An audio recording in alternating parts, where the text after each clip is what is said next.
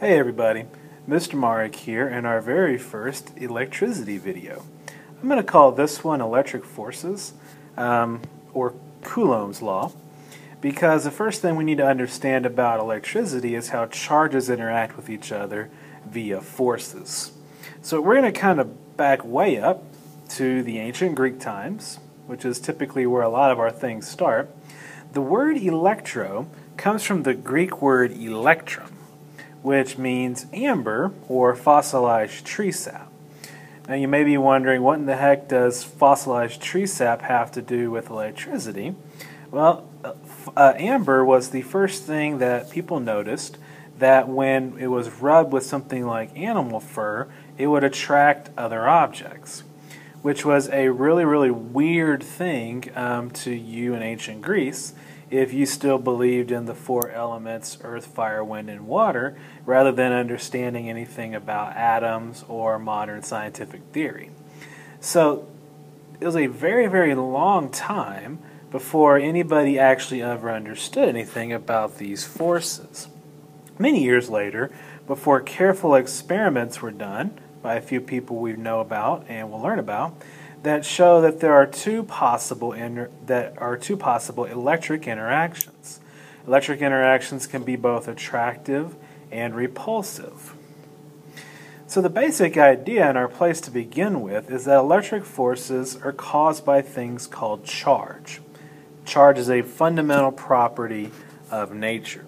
So that's the first thing we need to learn about, electric charge. Charge is one of those things that's kind of hard to define. I'm going to try to give you a definition. I'm going to try to define charge as being the fundamental property of some particles, not all, that cause an electric force between them. So, key word here in that definition is property. Charge is a property of some particles. To kind of boil it down a little bit simpler, Charge is what causes electric forces, the same way that mass is what causes gravitational forces. So we learned um, previously that two masses will attract each other, and we call that force gravity. Charges will attract or repel each other, and we call that force the electric force. Now there are two kinds of charges. And our basic rule for their interactions is that opposite charges will attract one another, and like charges or similar charges will repel each other.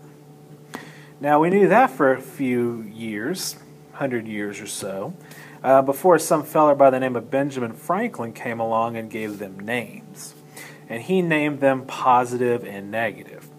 Really, those names are completely arbitrary they don't have any more significant meaning other than they are two things that are opposite. So he could have chose to use up and down or east and west for their names. Positive and negative is kind of the names that he chose. Today we understand, after a lot of study, understanding how atoms work, that protons are the thing that are positively charged, have the property of positive charge, and that electrons have the negative charge. Before, very recently, we really didn't know that. We kind of had to guess as to what was happening in any sort of electric situation. Now our picture is a little bit clearer due to our understanding of uh, subatomic particles like protons and electrons. A little bit more about electric charge. The symbol that we use is a Q, we can use either a capital Q or a lowercase q. Typically, if we have a big charge, we'll use a capital Q. If we have a little charge, we'll use a lowercase q. The unit that we measure charge in is the coulomb, which has the symbol capital C. To give you an idea of how big that unit is, the elementary charge is the value of the charge on a proton or an electron in coulombs we give it the symbol Q subscript E. And in coulombs, it has a value of 1.6 times 10 to the negative 19 coulombs. So you can see that a coulomb is a pretty large unit for charge compared to the charge on an electron or proton. In chemistry, you probably just assigned a proton or electron as having like a plus or minus one charge. In physics, we need to actually use the unit of Coulomb so that when we do um, forces, we get answers in newtons, and when we want energy, we get it to be in joules. So if you're going back and forth between physics and chemistry, make sure you keep that straight. Uh, one important thing about charge is that it has to be conserved. The net charge of a closed system has to remain constant. So mass is conserved, charge is similar to mass, charge is conserved as well. Now, don't say that charge can't be created or destroyed. What the conservation law really tells us is that the net charge of a system remains constant. We'll discuss that in more detail later on. So, this Frenchman by the name of Charles Coulomb basically figured out a relationship to describe electric forces. He assumed that the electric force would be like gravity and that it would obey an inverse square law. So remember, an inverse square law means if we take two charges, separate them by a distance r, and then we take the same two charges and separate them by a distance 2r, so in other words, we double the separation between them, then the electric force between them would be decreased by one-fourth. So we go from F to F over 4 for the electric force. In other words, you assume that the electric force is proportional to 1 over the distance between the charges squared. And that kind of a rule is called an inverse square rule. Remember, gravity follows the same rule. So the electric force is also going to depend on the amount of charge in both objects. We can label those Q1 and Q2. Making charge bigger would make the force bigger, so we can say that F is proportional to the product of the two charges. And so we can start to kind of write an equation. We can say that the electric force is equal to the product of the charges over the distance between them squared. But in order for our answer to be in newtons, we need to introduce some sort of constant. And the constant we introduce is K, capital K, and capital K is referred to, creatively enough, as the charge constant. Its value, which is something we would have to measure, is 9 times 10 to the ninth, so that's like a really big number, and the unit is Newton times meters squared over Coulomb squared. Now, this equation only gives us the size or magnitude of the electric force.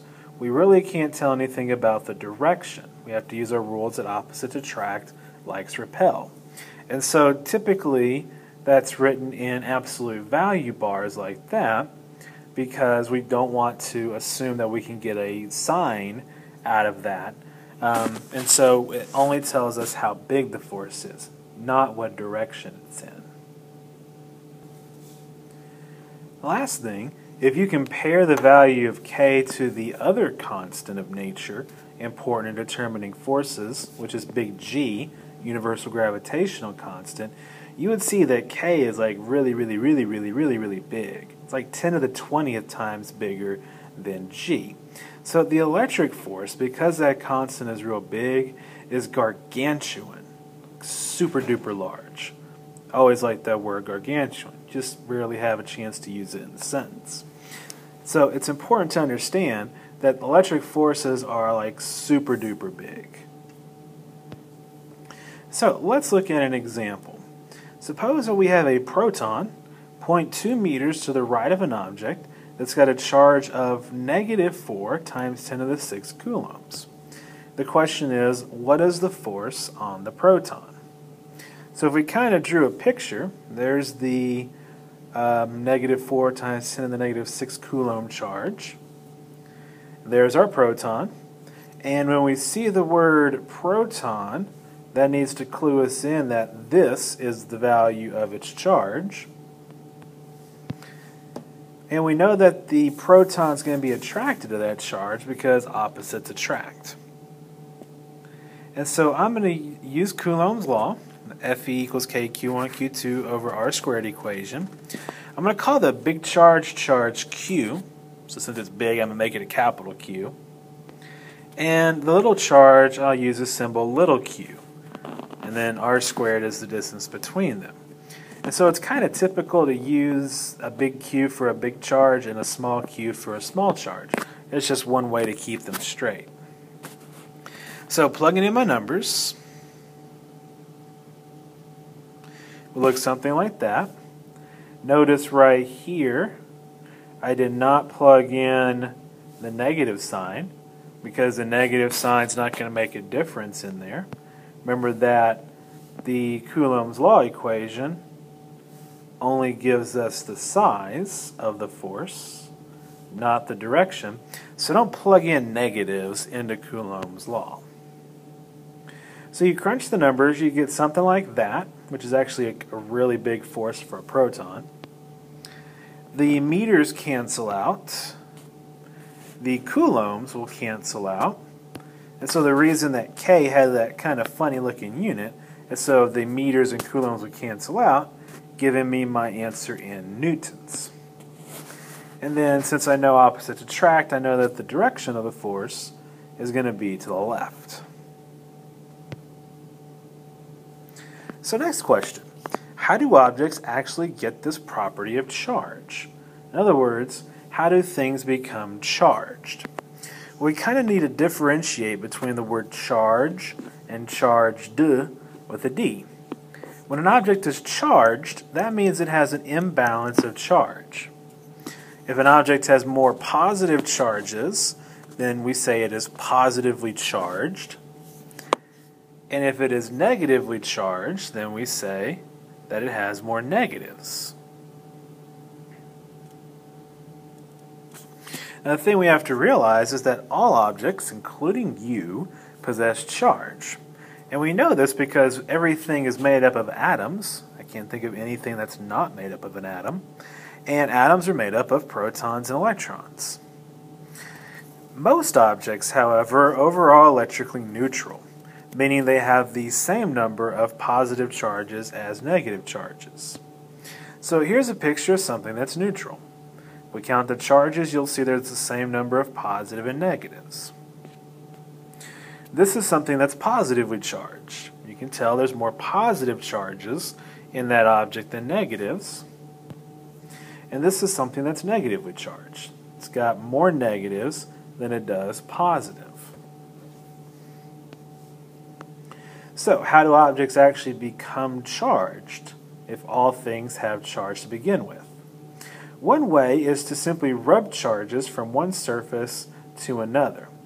This is basically based on a material's affinity to collect extra charges. So a good example of that is rubbing fur on a balloon, rubbing your sweatshirt, rubbing your sweatshirt on a balloon. So here's a picture of fur being rubbed on a balloon. Both the fur and the balloon start out with positive and negative charges. But afterwards, we would find more negative charges on the balloon than we would on the fur. Some of the negative charges are pulled onto the surface of the balloon. That makes the balloon negatively charged and the fur positively charged. Now, in general, this little trick works well with insulators. And insulators are materials that don't allow charges to move through them. For, for example, if you replace the balloon with an aluminum can, aluminum can is a conductor, um, then you wouldn't really see this effect. You wouldn't see anything happen, really. And so this works really well with conductors like plastics, rubbers, um, nylons, things like that. That's why this happens a lot with your clothes when you put them in the dryer. They rub together, they gather an excess of charge, and then they stick to your leg or you get socks clinging to your shirt um, and things like that. The second way to transfer charge is via conduction. Conduction simply refers to the process of charges spreading out through a conductor. The definition of a conductor is a material that will allow charges to move through it. Typically, when we think of conductors, we think of metals. Metals are very good conductors. Um, silver is the best conductor that's common to us, with copper being a close second. That's why we make wires out of copper. So here's a picture of a negatively charged conductor. If we touch it to a positively charged conductor, since they're conductors, that means charges can move back and forth between them. The charges are going to spread out so that they are kind of equally spaced. Basically, all those extra negative charges, because negative charges will repel each other, are going to spread out and so they'll occupy both spheres, making both spheres negatively charged. This is a very important process. Um, later on, we're going to call this an electric current, and that's the thing that's happening inside of wires. So, for example, if you're listening to this on a speaker, there are charges moving through the wires of that speaker, and somehow, some way, that makes sound. We'll learn how that process uh, works later on. The third way to charge an object is via a process called induction. Induction refers to when charges move in a conductor, so similar to conduction. The difference is when it's charged, excuse me, when it's caused by other charges nearby. So for instance, if we took two neutral spheres, which are conductors, and then we took a negatively charged rod, like a rod we rubbed with fur to make it negatively charged, if we brought the rod close, but not touching, to those two spheres, the negatives inside the spheres would be attracted to the rod, the positives in the spheres would be repelled by it, and so we get something that look more like that. Negatives move over to the sphere on the left, and the ch positive charges move over to the sphere on the right. When that happens, the left sphere becomes negatively charged, the right sphere becomes positively charged, and we say that the charges have been separated by induction. Now, this is a temporary pro- temporarily. This is only temporarily. Gosh, um, because if we took the rod away, then the charges would just go back to where they came from, and so they would kind of balance each other out again. And so, if we went back from the rod being close to the rod being far away, then the charges would go back to being evenly distributed between the two spheres. The spheres would go back to being neutral, in other words. So that's all for this time. On our next lesson, we'll put this in the context of electric fields and we'll make it a little bit more general. So until then, ta ta.